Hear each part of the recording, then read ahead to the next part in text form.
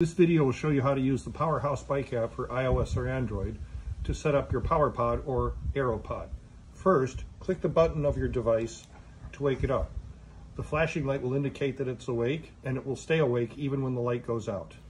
Now that I have turned on my unit, I'm going to launch the Powerhouse Bike app. You'll notice at the bottom right a settings gear icon. Touch that. You'll see the settings screen and at the top will be a button that says Rider, Bike, in sensor setup. Touch that. Watch for the sensor. You'll see an X and then a check mark. The check mark means that your device is communicating with the app.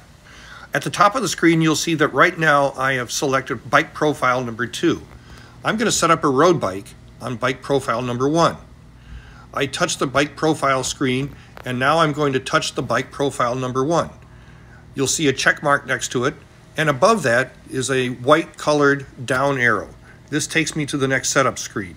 I can pick from five different kinds of bikes. I'm going to select road bike, then continue. The weight of my road bike and my gear is about 24 pounds. So I'm going to select that, then touch the down arrow again.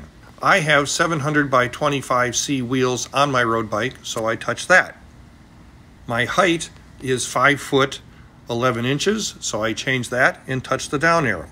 My weight is about 190 pounds, so I touch that. And finally, my FTP, which is a measure of my wattage fitness, is for me about 240 watts.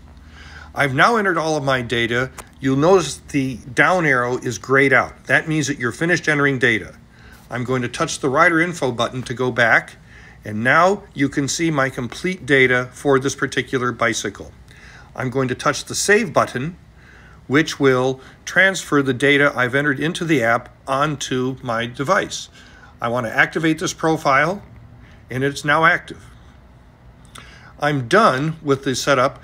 What I need to do next is to proceed to the sensor pairing for my road bike and then the calibration ride. If I touch the done button, after a few seconds, you'll go back to the main screen, but you're ready to do your sensor pairing and your calibration ride. You can use the Powerhouse Bike app to set up all of your bikes. Simply select the bike profile that you want to enter information for, and then enter your data.